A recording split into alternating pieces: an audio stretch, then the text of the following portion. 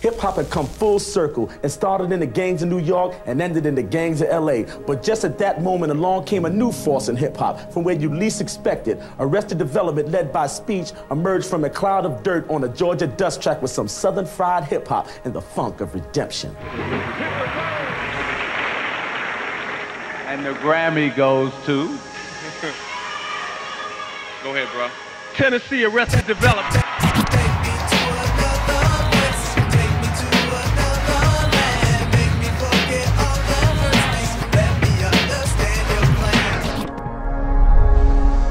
Dynamic, the sensational, the phenomenal, the revolutionary, arrested development.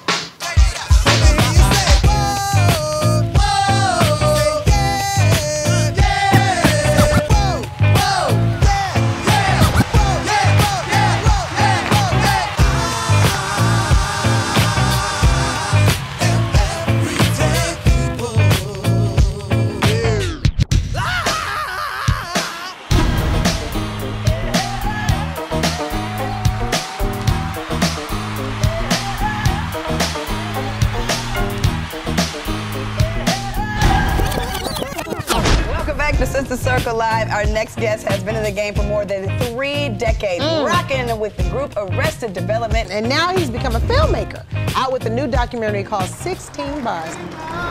It's one thing to just be in a jail and know that there's a problem. It's another to start seeing people trapped in this cycle. They're striving to overcome demons. I do believe in redemption with everybody, with anybody, no matter what they've done. What is the nigga factory? Slavery, in the gist of time, was just an eye blink away. The degradation of women, the glorification of violence, and drugs has been going on for a long time. But today, it's normalized. Grammy Award winning rapper Speech. Speech. Hmm? Speech. Speech. Yeah! You're